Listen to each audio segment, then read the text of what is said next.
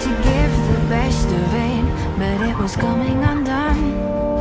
Oh, every choice filled with regret till the night we were done.